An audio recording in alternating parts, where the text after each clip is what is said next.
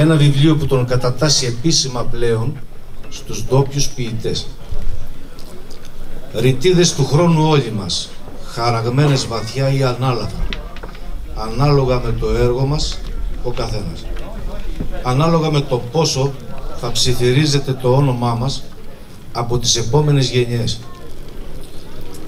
Ο Αντώνης απόψε χαράζει την πρώτη του ρητίδα. Διαβάζοντας τα μεράκια, κάθε αναγνώστης θα δει σε κάθε στίχο το μεγαλείο αλλά και την κατάθεση ψυχής ενός δημιουργού που έχει πολλά να πει και ακόμη περισσότερα να δώσει στην τέχνη και στην κριτική παράδοση. Έλα Αντώνη, να πω μόνο μια κουβέντα. Ο Αντώνης γεννήθηκε και μεγάλωσε στα Νόγια, όπου από χρόνια έχει διαμορφωθεί ένα όμορφο περιβάλλον για το λαϊκό πολιτισμό, την κριτική μουσική και τη μαντινάδα. Σαν παιδί στην οικογενειακή ταβέρνα είχε την ευκαιρία να ακούσει σπουδαίους μουσικούς της Κρήτης και ο νους του να αποτυπώνει μαντινάδες, στιχάκια και μελωδίες. Είχε την ευκαιρία να απολαύσει μερακλείδικες παρέες, να συζητήσει, να συμμετέχει στις αντικριστές μαντινάδες και στις καντάδες. Ο κόσμος μπορεί να είναι φτωχός, αλλά ήταν τιμόλογο, θυμόσοφος, με χιούμορ, με όρεξη για ζωή. Μεγαλώντας βέβαια συμμετείχε και ο ίδιος στις παρέες αυτές, διαδικασίες όλες αυτές και σήμερα έχουμε την ευκαιρία να απολαμβάνουμε ένα μέρος από τη δουλειά του. Να ξέρουν ποιοι είναι, από πού έρχονται και πού πάνε.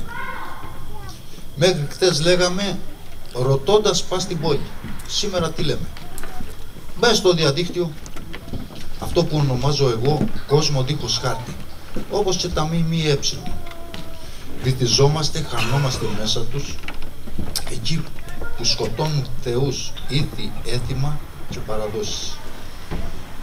Μας παρέχουν δικούς τους θεούς, θρύλους και ήρωες.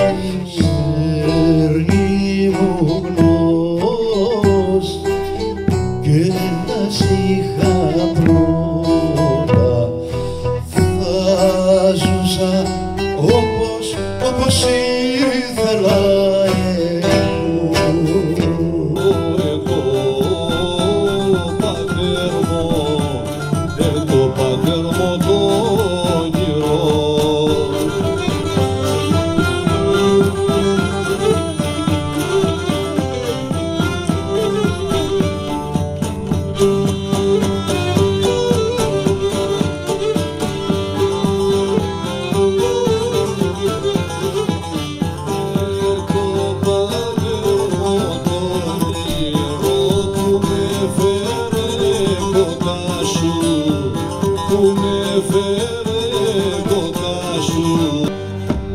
Τσιποχανέμους Τσιποχανέμους οι τσικλές.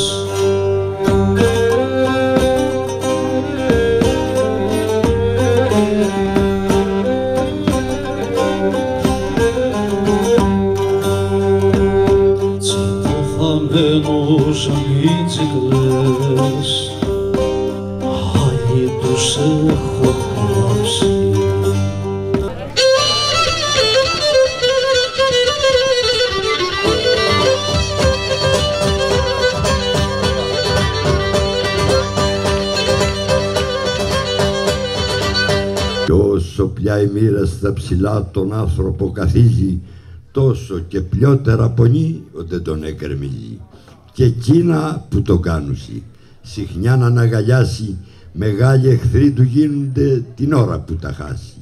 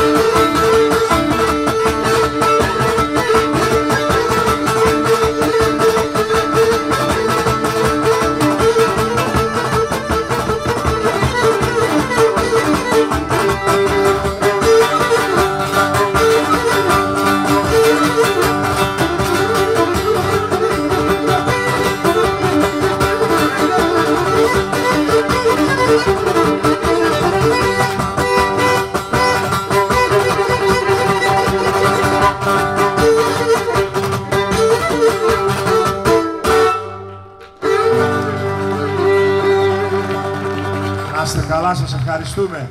Αντώνη με υγεία πάντα.